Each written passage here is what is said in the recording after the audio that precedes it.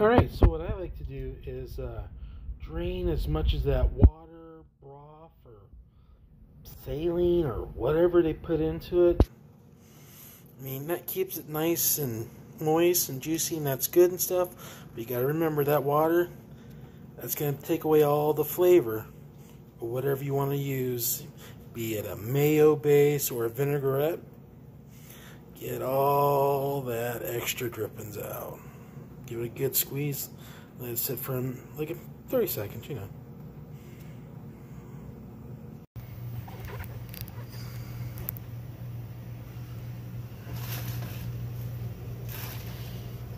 Alright, so what I like to do is mince my onion. The important thing is when you're cutting, do a claw. See that way? Unless you go over your knuckles, you cannot cut yourself unless you go like this way too. So, just go like this. Alright, let your knuckles guide it, you see? You have nice, even, consistent cuts.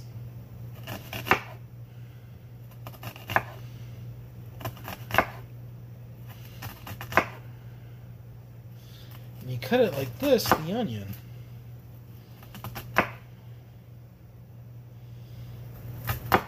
That way you can go like this, you turn it to the side, and you just do it to the other way.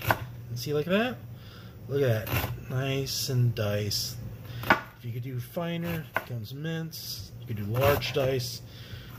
Just change the chop.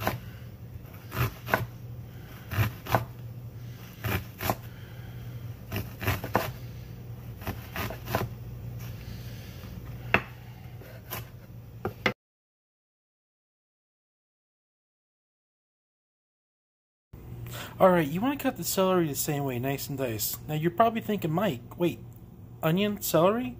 I thought you were supposed to use um, pickle relish. That's the southern version. This is the northern version, and I thought this would go good with my vinaigrette.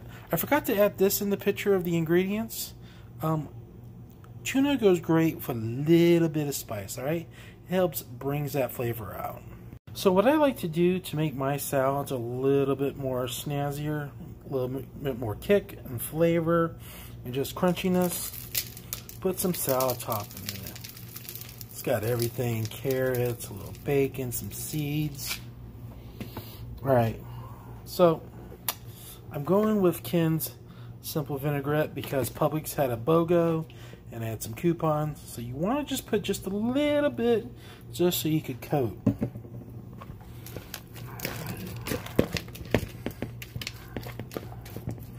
Pretty hard to do this one-handed.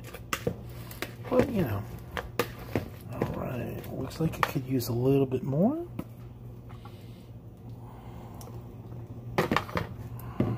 Alright. Alright, so greenage in there.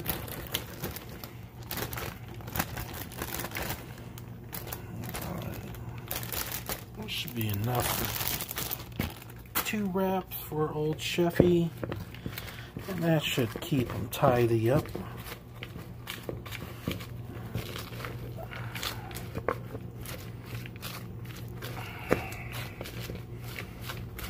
Right.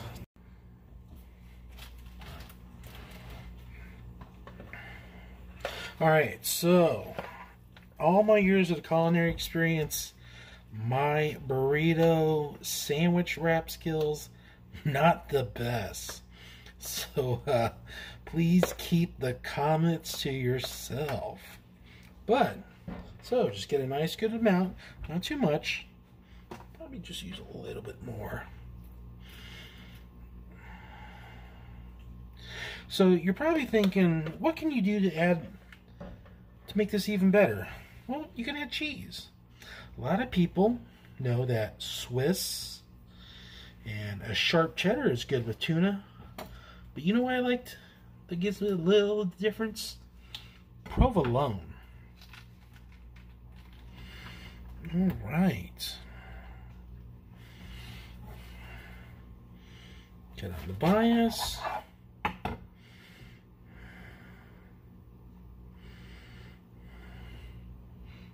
Yeah, Get some chips or some veggies, carrot sticks, celery sticks, and be a good little snack meal.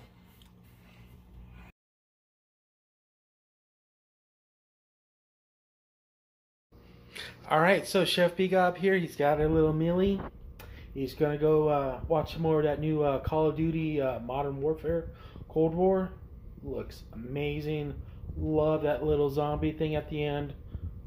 I'm gonna be working my uh, my butt off at the job, trying to get me that game as soon as I can, and um, hopefully get the system too. Maybe uh, we could game online. All right. Chef Gob out of the kitchen. May the ornate drop for you. Enjoy.